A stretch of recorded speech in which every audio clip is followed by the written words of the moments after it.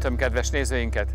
Önök az új mezőgazdasági magazin legfrissebb adását látják, haják. Benne információk, újdonságok, érdekességek a mezőgazdaság házatájáról. Kérem, tartsanak velem az elkövetkezendő 30 percben.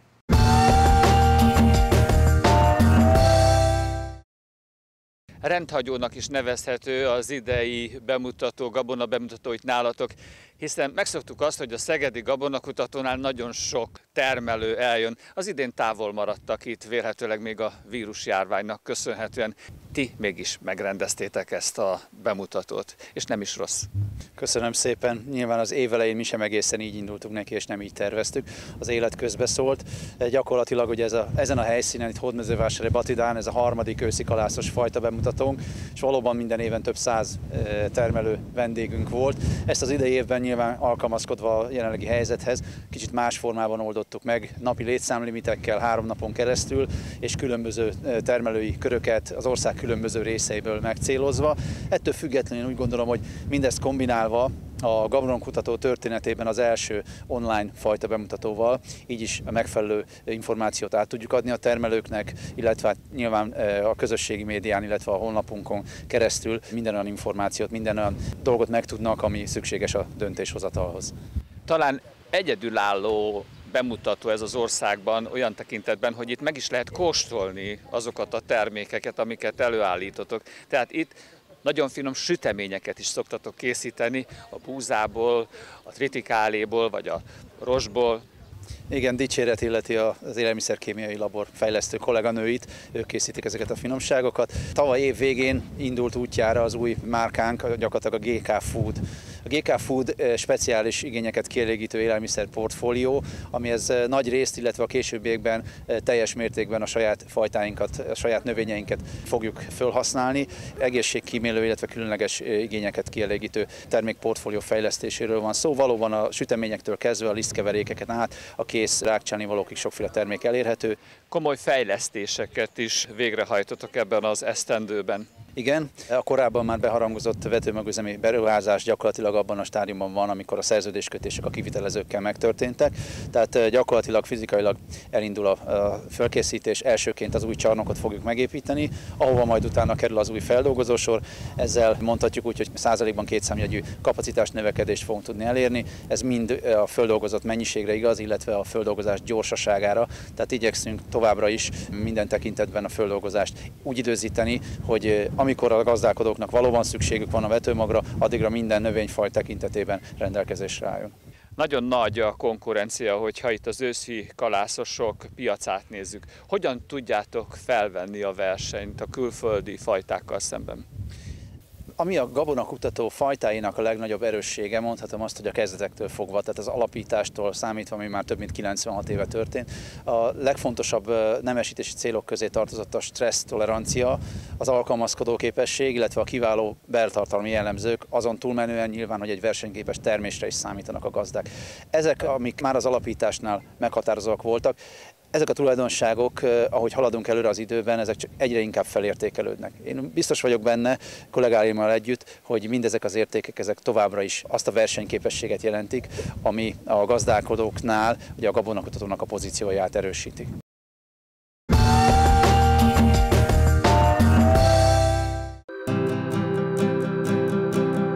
A Vitaford ZRT működésére is jelentős hatással volt a vírushelyzet. Az elmúlt hónapokban számos kihívással kellett szembenézniük, a készletezési láz ugyanis megjelent a takarmánypiacon is. Én gyakorlatilag 25-26 éve dolgozom, mint 20 éve vagyok a cég vezérigazgatója. Soha ilyen felfogozott állapotban még nem voltunk, ami azt jelentette, hogy karantén ide vagy oda, a nap 24 órájába, a hét minden napján dolgoztunk, három hét alatt két és fél hónapnyi mennyiséget gyártottunk le, őrült megrendelés állományok voltak, és le a kalappal nem csak előttünk, hanem minden takarmánygyártó előtt összefogtunk, kisegítettük egymást alapanyagokba, elmondhatjuk, hogy az első szakasz lezárult úgy, hogy mindenki időbe rendbe megkapta a takarmányát. A vírushelyzet a tejágazatban is gondokat okozott. A Vitaford ZRT piacvezető a tejelő szarvasmarhák takarmányozásában, éppen ezért nagyon fontos ez a terület is számukra. Hosszú ideje partnerük már a Dabasi Laktó Kft. Hogyha megnézzük a te állományodat, és összehasonlítjuk az ország más telepeivel, akkor szembetűnő az, hogy ezek az állatok egy kicsit robosztusabbak, erősebbek. Miért? Szándékosan választottuk, szándékosan választottuk a, a nagy testkapacitást, vallom azt, hogy nagy testből, amit meg lehet tölteni takarmánya, tehet is lehet várni tőlük mondod, hogy meg lehet tölteni takarmányjal. Igen. Tehát nem mindegy, hogy mi az, amit megetetsz. Nagyon, nagyon jó minőségű takarmány, nagyon minőségű szilás szenást készítünk, ugye a takarmányozásunk ez a fő alapja, valamint szerencsés módon a Vita volt a nagyon komoly együttműködésben, nagyon jó premixeket, nagyon jó kiszolgálásba, illetve tanácsadásba részesülünk. Tényleg olyanok, mint a, a egy, egy cég lennénk, annyira egymást segítjük. Nagyon fontos ugye az, hogy legyen terület is, ahol ezeket a takarmányokat, az alapanyagokat megtermelitek. Mit tudtok a saját területen előállítani? Az 1200 hektáron meg tudjuk termelni a tömegtakarmányainkat. Sajnos az egyebet azt vásárolnak, ez szalmát, minimális szénát tudunk termelni, de a nagy részét abból is vásárolni kell. Csak a szilágy és a szenást tudjuk megtermelni saját részre. Kővágó Ignác folyamatosan fejleszti, korszerűsíti gazdaságát, Cége mára az ország egyik legjobb tehenészetévé vált. Az elmúlt három év átlagában 13 ezer liter fölött volt a laktációs hozamuk folyamatosan. A minőség az milyen a tejnek? Gyakorlatilag extra tejünk volt folyamatosan, nem volt semmi problémánk a teje, a beltartalmunk is kimagaslóan jó. A Holsteinhez mérten kimagaslóan jó. Télen, téli viszonylatban a 3,942 zsíra és a 3,3 és fél 3,4-es fehérjével. Tehát egy hatalmas beltartalom, ilyen tejtermeléshez mérten. Kővágó Ignác szerint cége sikerének titka a jó genetika mellett a megfelelő takarmányozásban rejlik. Ezért is dolgoznak együtt hosszú ideje a Vitaford ZRT-vel. A vállalat vezérigazgatója bizakodó az idei takarmány növények minősége és mennyisége tekintetében is. Ezek közül az árpa az egyik legígéretesebb. Remek termésátlagok jönnek be, az elmúlt 5-6 év talán legjobb terméseit látjuk most, és ami még ennél fontosabb, nagyon jó beltartalom, nagyon jó az esésszám. 70 fölöttit is mértünk a laborunkban, nagyon-nagyon sok minta jön be, tehát elmondhatjuk, hogy, hogy az árpánál rendben vagyunk. Búzánál a mennyiséggel nem lesz gond, a minőség azonban gyengébb lesz a vártnál. A napraforgó és a kukorica nagyon ígéretes, a repce viszont nem éri el hektáronként a 3 tonnás termés átlagot. Talán a méréseink alapján most is 44-45-ös olajtartalom az rendben lesz, itt pedig a mennyiséggel látunk problémát.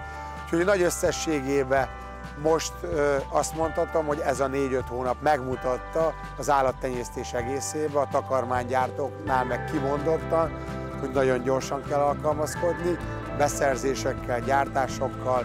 Itt ez az elmúlt négy hónap a folyamatos alkalmazkodásról szólt, de azt gondolom, hogy, hogy mindenki jelesen vizsgázott.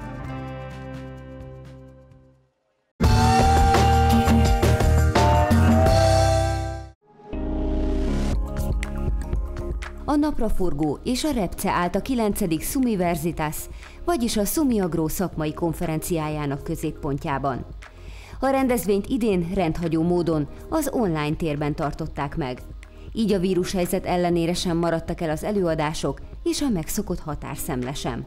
Mindezt egy virtuális formában, a mai számítástechnikai eszközök felhasználásával úgy tartottuk, hogy az előadók a az éteren keresztül tartottak előadást.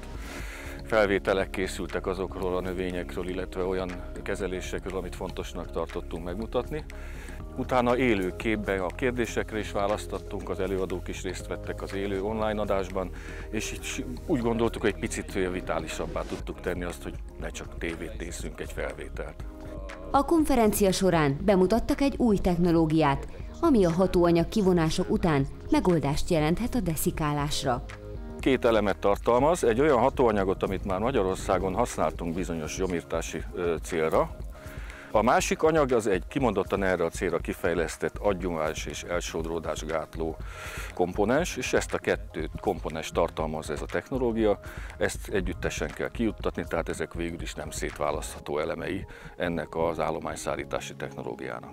A napraforgóba sikerült megszereznünk már az engedélyt, szükséghelyzeti engedélye forgalomba is hozzuk most nyáron, hogy a napraforgó termesztők kipróbálhassák a, a, őszi, nyárvégi őszi időszakban. Repcében, ahogy itt is folynak a kísérletek, mert szeretnénk a ikári technológiát a repce állomány szállítására is engedélyeztetni itt Magyarországon.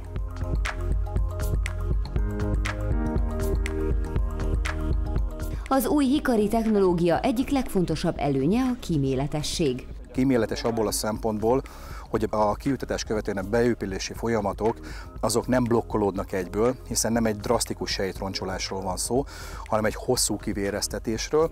Ebből kifolyólag az olajbeépülés az folyamatos marad, nyilvánvalóan nem a végletekig, hanem a, a, a teljes száradásig, de az olajbeépülés megmarad, a növény csíra képessége az nem romlik, az elért eredmények, azokat képes tartani az a termék. Miről van szó, milyen eredményeket? Ugye nagyon sokszor előfordul az, hogy a deszikálást követően ráfordul a táblára egy-egy esős periódus. Az az érdekes megfigyelés, hogy a hikarival kezelt táblák visszanedvesedése messze nem olyan mértékű, mint akár a glifozátos, akár a dikvátos technológiáké. Mi móckultivátor használunk, tarlóhántás, búzsa elővetemény, és akkor kezdjük tarlókezelést csinálni, azután egy móckultivátor, azután jön a vetőgép közvetlen a, a, a móckultivátor után. Igen. Tehát nagyon fontos az, hogy a, a vizet megőrzitek a talajban. Pontosan. Augusztus végi vetés időszak az általában elég száraz szokott lenni, és az miatt a nedveség kell őrizni. A Europe Farming Kft. növényvédelmi szakirányítója, Bene Erika is részt vett a Sumiverzitason, és válaszolt a termelők kérdéseire. Elsősorban tápanyag kiuttatással, növényvédelemmel kapcsolatos kérdéseink voltak, kíváncsiak voltak arra, hogy repcében fóma ellen mivel védekeztünk kora tavasszal, itt egy boszkorit hatóanyagot használtunk, kíváncsiak voltak arra, hogy a bornak miért van jelentős szerepe az intenzív termesztés technológiánkba. A másik fontos kérdés volt ugye a repcének a deszikálása. Itt egy újdonságot, egy új hatóanyagot próbáltok ki ezen a nyáron. Hogy viselkedik ez a hatóanyag? Hogy látod? Valóban új technológiai elem is nálunk, mert összességében nálunk nem jellemző az, hogy deszikálást alkalmaznánk, most a 445 hektáros repce területünkből egy 10 hektáros területen kipróbáltuk a hikarit. A tapasztalatuk az volt, hogy a technológia hatása már néhány nap alatt is nagyon látványos volt.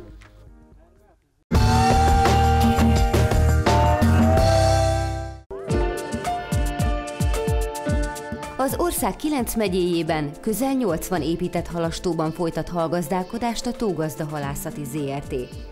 A cég vezérigazgatója német István számára gyerekkori szerelem volt a hal és a horgászat. Édesapám biológia szakos tanár volt, és kisgyerekként vitt horgászni, halas preparátumok készítésénél jelen voltam, és egész kis egy iskolás koromban elhatároztam, hogy a halakkal szeretnék foglalkozni, és ez a szerelem a mai napig tart. Jelenleg 1650 hektáron termelünk halat, mint egy 78 halastóba, 9 megyében az országba, és igyekszünk olyan minőségű halat előállítani, ami a magyar horgászoknak, a magyar fogyasztóknak minden igényét kielégíti, de bőségesen jut ebből a halból exportpiacokra is. Osztrák horgászoknak, román, lengyel halfeldolgozóknak folyamatosan szállítunk exportra magyar halat, és büszkék vagyunk rá, hogy mintegy 65-70 családnak munkát adhatunk ebben az ágazatban. Legfontosabb halfajuk a ponty, de egyre több ragadozó hal, harcsa, süllő és csuka is kikerül a tavaikból, valamint egyre nagyobb az igény a keszeg, a kárász és a busa iránt is. Szeretnék elérni, hogy hazánkban is nőjön a halfogyasztás. Magyarországon az emberek karácsonykor eszik a legtöbb halat, az éves termelés mintegy 30-40 százaléka Magyarországon a karácsonyi ünnepek előtt fogy el, ezen szeretnénk változtatni, dolgozunk azon, hogy nőjön az egyfőre jutó halfogyasztás.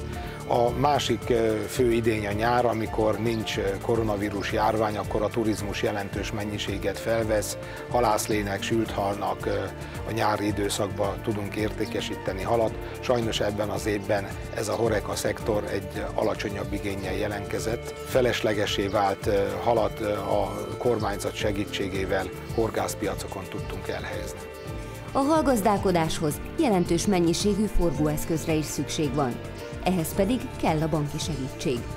A takarékcsoporttól veszünk fel forgóeszközhitel, de a beruházásainkhoz is igénybe vettünk hosszú lejáratú beruházási hiteleket. Természetesen az éven belüli forgóeszköz hiteleket évvégén tudjuk visszaadni, amikor értékesítjük a halállomány zömét, de jó érzés, hogy mögöttünk áll a bank, és bármilyen rendkívüli esemény történik, akár árvíz, akár aszály, a forgóeszköz finanszírozás így biztosítva van. Én azt gondolom, hogy a bankár és az ügyfél kapcsolatában a legfontosabb dolog a bizalom. Ez olyan, mint egy orvos és a páciens kapcsolata. Hosszú évek óta jó a kapcsolatunk a Szigedvári takarékszövetkezettel, és igaziból ötleteket is kapunk, és folyamatos finanszírozásban részesítenek bennünket. Hazánkban jelenleg 24 ezer hektáron tenyésztenek halat. Ahhoz, hogy ezt bővíteni lehessen, a hazai halfogyasztás növelésére van szükség. Magyarország nem egy halfogyasztó nemzet, kb. 5-6 kg halat fogyasztunk évente fejenként, míg az európai átlag 24 kg, a világ átlag pedig 20 kg. Természetesen ez hozzájárul az is, hogy nincsenek tengereink, és nem fogyasztunk annyi halat, és egyébként az import-export arányunk is bőven-bőven elbillen az import felé, az hatszorosa az exportnak. Itt a tengeri akvakultúra termékeit fogyasztjuk. A halászat egy költséges ágazat. A tavak létrehozása, fenntartása nagyon sokba kerül. Ráadásul a piac igényeit három-négy évre előre látni kell. A tavak esetében a szántófölddel szemben egy épített környezeti tényezőről, termelő tényezőről van szó. Tehát ennek a költsége jóval magasabb, mint egy szántóföldi ágazatban, például egy szántóföld megvásárlása. Többszöröse egy hektár létesítése egy szántóföldnek, és ugye ennek vannak különböző elemei, a működtetéséhez szükséges beruházási elemek, és akkor még nem is beszéltünk a forgóeszközelemekről. Én azt gondolom, hogy ha van egy jó üzleti koncepció, van egy jó piacrész, van egy szaktudás, ami jelen esetben azért most már komolyan 40 évet ölel fel, akkor azt gondolom, hogy banki oldalról ez egy jó finanszírozható ágazat.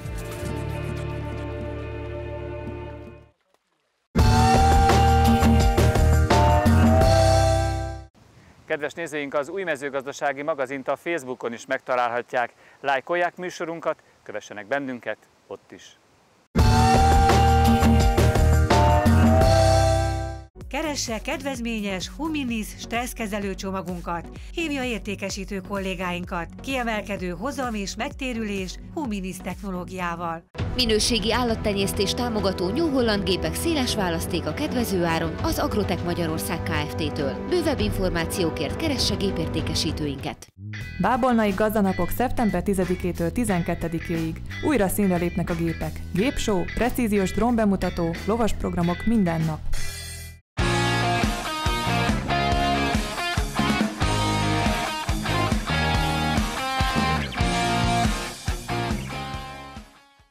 Mi felkészültünk. És te?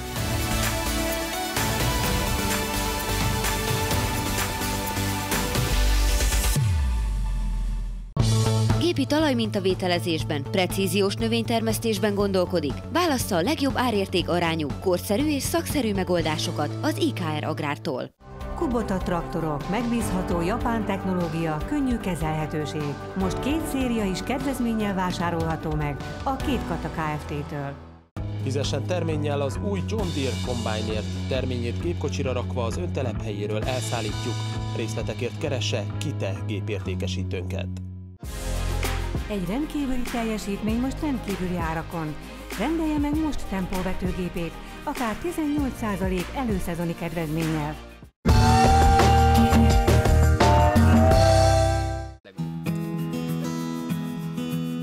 Mi kell ahhoz, hogy két városi fiatal belefogjon a biogazdálkodásba? Egy nagy adag kíváncsiság, elszántság és a szabadság iránti vágy. Dezsény Zoltán és felesége Judit egy pici Nógrád megyei faluban valósította meg azt az életformát, amire mindig is vágytak. Mindketten környezetgazdálkodási agrármérnökként végeztek Gödöllőn, majd a Cserhát Lankáin létrehozták a Magosvölgy ökológiai gazdaságot. Azt gondoltam, hogy a mezőgazdálkodás ugye szabadsággal jár, a főnökünk a nap, és és ebben rengeteg kreativitási lehetőség van, és úgy nőttünk aztán, amikor együtt indítottuk az életünket Judittal, hogy, hogy ha nagyok leszünk, akkor mi is majd biogazdálkodni szeretnénk, egy saját gazdaságot szeretnénk létesíteni. Egy barátjuknak köszönhetően kerültek a Cserhát lankáira, és annyira megtetszett nekik ez a vidék, hogy itt telepettek le. A két fiatal ráadásul nem a gazdálkodás könnyebbik formáját választotta, hanem a nehezebb utat, a biotermesztést. Meggyőződésből vágtunk neki. Az egyetemen bár nem ökoszakirányosak voltunk, de hogy voltak ilyen tárgyaink, akiknél én jártam, barátaimnál, ők is biogazdálkodással foglalkoztak, és ez valahogy teljesen egyértelmű volt, hogy ha, ha mi neki kezdünk, akkor így szeretnénk csinálni. És így is lett belőle, mindenre van megoldás, minden kihívásra meg lehet találni a jó megoldásokat, utána kell járni. Tehát hogy ez kell egy nagy adag kíváncsiság, meggyőződés, kitartás, és akkor minden problémát meg lehet oldani. 8000 négyzetmétert művelnek meg, ebből 3000 négyzetméter fóliasátor, a többi szabad föld. Sokféle növényt termelnek, nagyjából 50 zöldségfaj 150 fajtájával foglalkoznak. Sok mindent kipróbáltunk, és azokat a fajtákat tartjuk meg, amik a mi kereteinkbe jól beilleszthetők, tehát amik ugye bőterműek, betegségekkel szemben ellenállóak, jó ízvilággal rendelkeznek, ez nagyon fontos. Használunk profi cégeknek a profi fajtáit, biomagokat, vagy, vagy ha konvencionális mag, akkor ilyen naturmagokat, ami, ami nem sávázott, illetve kifejezetten bio vetőmagforgalmazó cégeknek a fajtáit, illetve használunk tájfajtákat is, amit a Növénydiverzitás Központból kértünk ki, amik innen a környékről a cserhátból lettek begyűjtve. Birodalmukat ma már betölti a gyerek zsivaj, de az édesanyai feladatok mellett Judit a gazdálkodásból is bőségesen kiveszi a részét. A kertészetben alapvetően a palánta nevelésért vagyok felelős, mert hogy minden palántát saját magunknak állítunk elő. Ez tulajdonképpen stratégiailag fontos kérdés számunkra, mert hogy rengeteg fajtával dolgozunk, és hát az időzítés és a fajta szortiment miatt korábban, amikor vásároltuk a palántát, akkor arra nem tudtunk kellő biztonsággal támaszkodni, úgyhogy ezért magunknak csináljuk, ez évente olyan 70 ezer palántát jelent, ez heti négy napot lefoglal azért 8 órában. Vannak fajták, amiket már évek óta használunk, és amik beválnak és megbízhatóan használhatóak. Aztán vannak szerelemfajták, mert hogy azért több mint 150 fajtával dolgozunk, és 50 fajjal. Van, amelyik nekem tetszik, meg van, amelyik a férjemnek tetszik, meg és akkor őket kipróbáljuk. Nagy szabadság van azért ebben. A megtermelt portékát annak a zöldségközösségnek a tagjai kapják meg, akik finanszírozzák a gazdaság tevékenységét. A Magosvölgy ugyanis közösségi gazdálkodás formájában működik. Egy teljes szezonra elköteleződünk fogyasztókkal, zöldségközösség tagokkal, akikkel megalapodunk abban, hogy amit mi a, szezon alatt termesztünk, azt egészen áprilistól december közepéig heti rendszerességgel egy zöldség részesedés formájában eljuttatjuk a, a zöldségközösség tagokhoz, és és gyakorlatilag nekünk nincsen más értékesíti csatornánk. Van egy, egy havi tagdíj, egy fix összeg, amelyet a tagok elutalnak a gazdaság részére, és amit ők megkapnak hetente egy zöldségcsomagot, az nem az átvett zöldségnek a piaci értéket tükrözi, tehát az az, az összeg, amit átutalnak, hanem összességében a gazdaság működését finanszírozzák. A portékát hetente egyszer szállítják ki a zöldségközösség tagjainak, és ha idejük engedi, recepteket is adnak a csomagok mellé, egy táplálkozási szakértő Molnár Klára segítségével. Zoli és Judit folyamatosan képzi magát, és nagyon jó a kapcsolatuk az Ökológiai Mezőgazdasági Kutatóintézettel is. Az Ömki egy korábbi munkahelyem, tehát nagyon jól ismerem a, a csapat és a stábot, részt vettem a munkájukban. Három éven már csak és kizárólag biogazdálkodásra foglalkozunk itthon. Az on-farm programokban vettünk részt, tehát többek között tájfajta paradicsomokat teszteltünk itt és még sok más biogazdával együtt, és kiválasztottunk olyanokat, amelyek a, itt a mi kereteink között a legjobban termeszthetőek. Már Judit és Zoli cseppet sem könnyű utat választottak maguknak, de egy pillanatra sem bánták meg, hogy belemertek vágni a biogazdálkodásba, hiszen így azzal foglalkozhatnak, amit valóban szeretnek. Ez egy eléggé küzdelmes műfaj, de úgy érezzük, hogy jó helyen vagyunk. Még rengeteg a tanulnivaló, eh, és ahogy ez a gazdaság is fejlődik, ahogy a magas, magas föld ökológiai gazdaság ugye évről évre egy kicsit szebb, kicsit jobb, kicsit jobban szervezettebb lesz, úgy fejlődünk vele együtt mi is. Tehát úgy, úgy érezzük, hogy ez a mi személyes életünkben is eh, és egy, egy, egy, egy fokozatos, eh, lépcsőzetes személyiségfejlődés is jelent, és, és ez egy, egy fantasztikus dolog, hogy, hogy azzal foglalkozhatunk, amit szeretünk csinálni.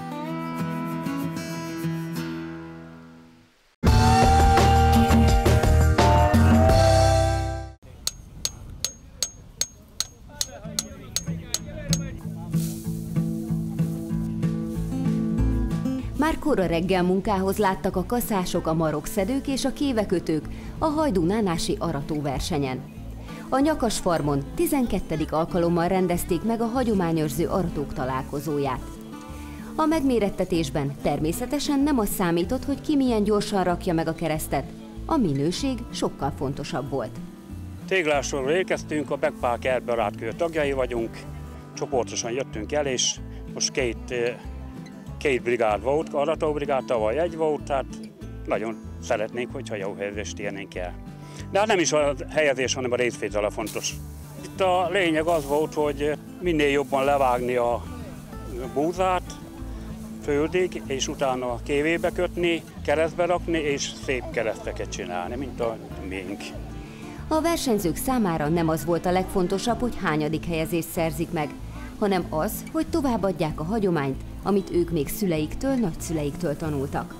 A legfontosabb az, hogy a mostani fiatalságnak mutassunk példát, hogy még tudják, hogy milyen a régi hagyomány, és szeretnénk mindig is azt a hagyományt megőrizni, ameddig csak lehet. És az lenne a legjobb, hogyha tudnák folytatni továbbra is a fiatalok. Mi ebben nőttünk fel még gyerekkorunkban, mink ezt láttuk, csináltuk, szüleinktől tanultuk. Szeretnénk, hogyha még a gyerekeink is, meg azoknak az unokák, meg mindenki még tovább ezt a hagyományt. A kaszálásba besegített műsorunk felelős szerkesztője is, aki egykor még szintén a szüleitől leste el ennek minden fortéját. A munka után jöhetett az ünneplés, és a téglási csapatban a harmonika is előkerült.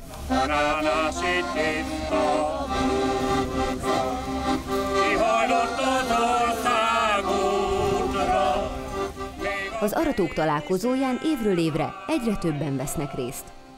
A rendezvénynek amellett, hogy egy igazi közösségépítő ünnep, nagyon fontos szerepe van abban is, hogy a gyerekek megtapasztalhassák, milyen nehéz munka volt régen az aratás a 20-30 évesek, akik kim vannak, azok kihozzák a gyereküket, mert ők még nem láttak ilyen hagyományos adatás, és ezt kövessék végig. És lássák meg azt, hogy a 70-80 évesek, akik most itt kim vannak, még át tudják adni, és így meglássák, hogy milyen nehéz volt a, a kaszállás, milyen nehéz volt az aratás régen, és így innentől kezdve akkor tisztelni fogják lehet jobban a mezőgazdaságot.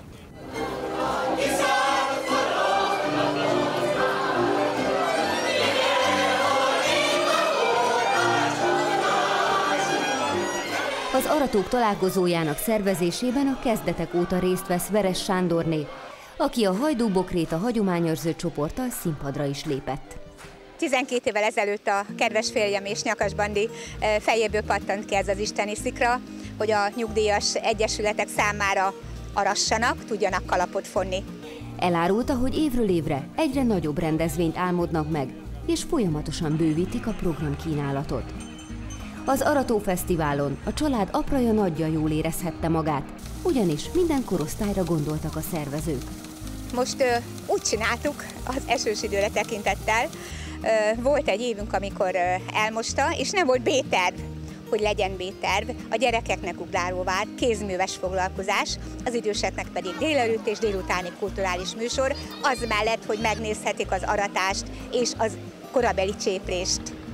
Jakab István a Magyar Országgyűlés alelnöke, a Magosz elnöke örömmel vállalja évek óta a rendezvény fővédnöki feladatát.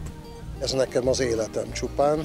Azt gondolom, hogy ahova tartozok, ahonnan jöttem, ahova megyek majd, ez számomra meghatározó.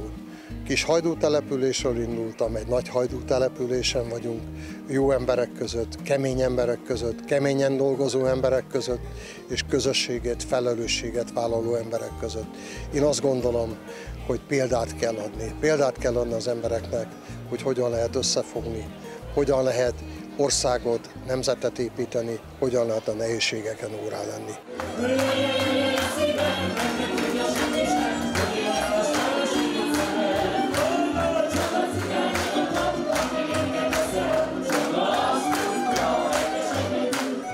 A délutáni színpadi program középpontjában az operett és a magyar nóta állt.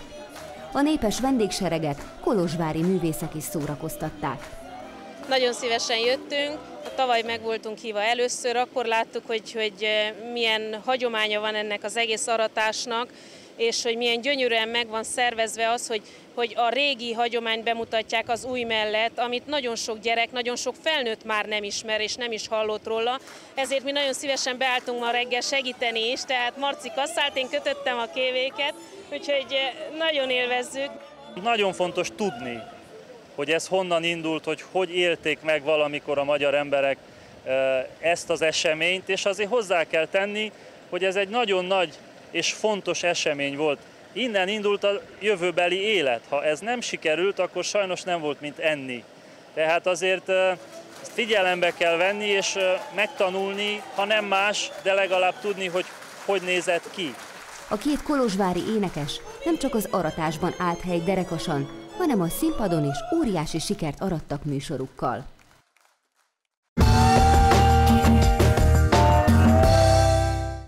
Kedves nézőink, mai új mezőgazdasági magazinunkba ennyi fért. Ha valakinek észrevétele vagy véleménye van a műsorral kapcsolatban, az írjon a képernyőn látható e-mail címre. Az új mezőgazdasági magazint az interneten is megtekinthetik a www.újmezőgazdaságimagazin.hu oldalon, vagy a www.umm.hu oldalon, de keressenek bennünket a Youtube-on is az új mezőgazdasági magazin csatornáján, és ne feledjék a Facebookon is, ott vagyunk. Az új mezőgazdasági magazint az ATV Spirit csatornáján szombaton és vasárnap reggel már 6 órától láthatják. A régi csatornán szombaton és vasárnap reggel is 6 óra 35 perckor jelentkezem. Ha tehetik, akkor is tartsanak velem. Köszönöm figyelmüket, viszontlátásra!